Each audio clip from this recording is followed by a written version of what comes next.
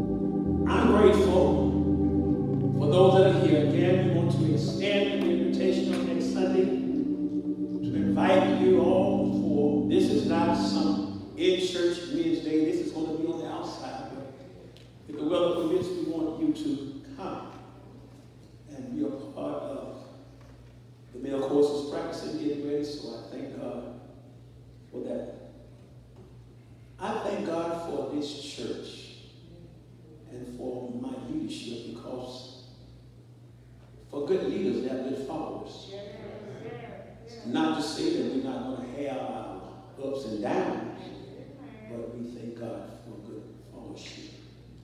Thank God for Reverend Lumpkin and Sister Lumpkin. Thank all of y'all supporting our today.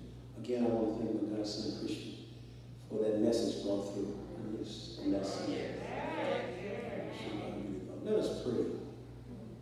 Eternal God, Father, we come today thanking you for another opportunity to stand behind your sacred rostrum bring a word from you. Bless us now, O God, as only you can do. Keep us and let the words of my mouth and the meditation of my heart be acceptable